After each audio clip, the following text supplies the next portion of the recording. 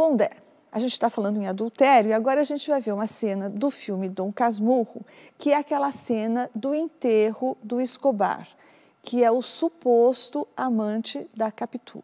Então ele está sendo enterrado e a Capitu está velando o corpo. E o jeito que ela olha para o corpo, o Bentinho não gosta nada. Depois que a gente vê essa cena, você vai me responder. Capitu traiu ou não traiu o Bentinho? Tá bom? Tá bom. Primeiro a gente tem que levar em conta que é o momento de enterro do Escobar, né? Assim, uh, é um momento que, por, em momentos como esse, uh, podem aparecer sentimentos que normalmente você não presta atenção no cotidiano. E as pessoas podem se trair diante da perda.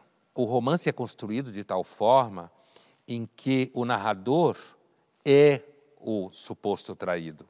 Então ele vai contando a história, ele começa a ver a vida dele depois que o Escobar morreu, ele começa a lembrar de momentos da vida dele, em que são momentos como, por exemplo, quando ela disse que estava com enxaqueca e não foi à ópera e ele volta, o Escobar está saindo da casa, e aí ela diz que ele foi, ele era contador, o Escobar, que ele estava ajudando nas contas da, da firma deles, porque ela fazia a contabilidade da empresa dela e do Bentinho. Quer dizer, vão acontecendo momentos, ele vai lembrando de momentos dominado por esse olhar.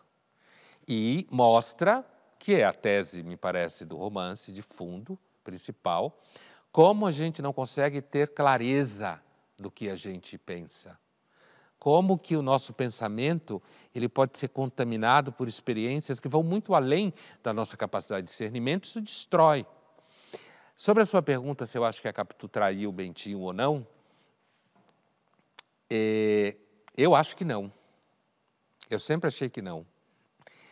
Porque é claro que eu já tive um aluno uma vez discutindo isso em sala de aula que ele falou: você projeta a desdêmona na Capitu. Talvez seja isso, né? Mas eu acho que a história é infinitamente mais poderosa se ela não traiu ele.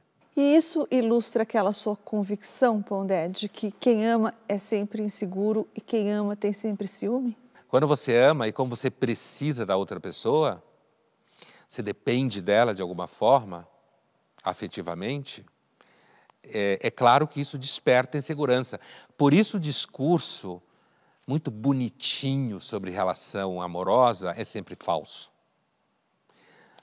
O, o, digamos assim, os antigos e os medievais, os românticos, eram mais sinceros em quase tudo que falavam do que nós hoje. Então, assim, essa ideia, não, eu, eu, amo, mas eu confio, eu respeito. É claro que isso deve existir no horizonte de hipóteses, mas o amor é justamente uma quebrada de perna da sua capacidade de ter plena certeza das coisas. Senão, não era doença da alma.